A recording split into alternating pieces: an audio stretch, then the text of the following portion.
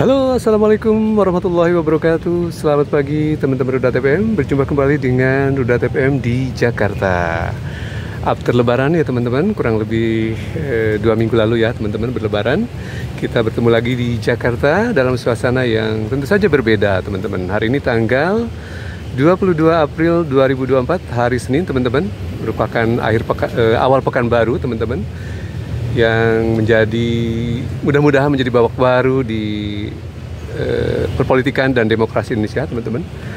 Pagi ini jadi Ruda TPM hadir di Jakarta untuk melihat eh, perkembangan atau eh, situasi perpolitikan di Indonesia eh, pasca gugatan PHPU Paslon 01 dan Paslon 03 di Mahkamah Konstitusi. Jadi pagi ini rencananya Mahkamah Konstitusi akan membacakan putusan eh, hasil gugatan atau perselisihan hasil pemilu PHPU 2024 yang menjadi babak penentu eh, perpolitikan ataupun suksesi Pilpres 2024 yang sudah berlangsung kurang lebih eh, pemungutan suaranya adalah dua bulan lalu teman-teman. Lalu ini merupakan eh, babak akhir setelah penetapan eh, hasil pemilu pada tanggal 20 Maret 2024 dan ini satu bulan berikutnya merupakan proses eh, persidangan pengajuan gugatan dan persidangan. Dan ini merupakan babak akhir dari hal tersebut yaitu putusan Mahkamah Konstitusi.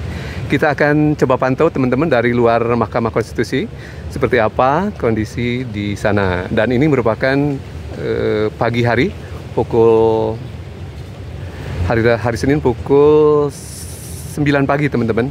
Suasana di kawasan transit Duku Atas masih cukup ramai.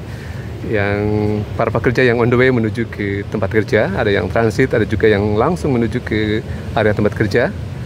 Jadi sudah terlihat ya Jakarta kembali normal pasca perayaan Idul Fitri 1445 Hijriah pada tanggal eh, 10 April ya teman-teman.